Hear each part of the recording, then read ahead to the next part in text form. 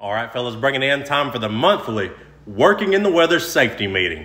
Whew, it just gives me chills thinking about it. Does anybody have any questions or comments or concerns before we start this? I, I got one right here. Uh, how exactly are we supposed to prepare for the weather on a job site in the southern U.S.? Okay, the high for today is 76 with a 20% chance of snow. So I, I'm not real sure how the fuck we're supposed to prepare for that. That's actually a really good question. Uh, so, weather is a wee bit sporadic in the southern U.S. about this time of year. Uh, I know when you got up out of bed this morning headed to work, it was 17 degrees.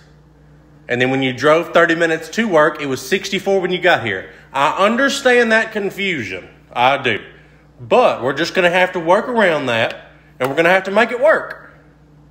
Okay, okay, we're, we're gonna make it work. So let me process this. When I show up to work in the mornings, I may need thermals on, a hoodie, and a jacket.